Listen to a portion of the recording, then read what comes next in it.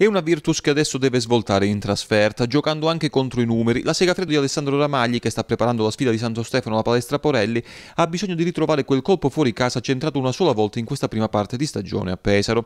Che non sia una missione facile lo dice anche lo score opposto in casa di Varese, dove gli ospitanti sono stati più vincenti quattro volte che perdenti, due occasioni al cospetto però di corazzate come Venezia e Sassari.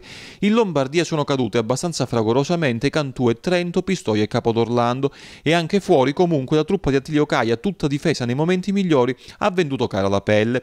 Insomma, molto meno malleabile come avversario di quanto non dica la classifica. Per la Virtus, però, è uno spareggio da aggiudicarsi per evitare il rischio concreto di restare fuori dalle finalette di Coppa Italia, primo obiettivo stagionale da non fallire se si vuole continuare la crescita.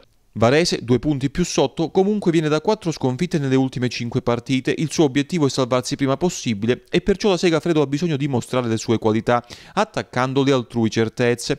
La Fayette si è fermato per una botta, ma dovrebbe essere a disposizione senza troppi problemi. Semmai Ramagli deve incoraggiare i segnali importanti arrivati contro Torino, proseguendo verso l'uscita definitiva dalla crisi.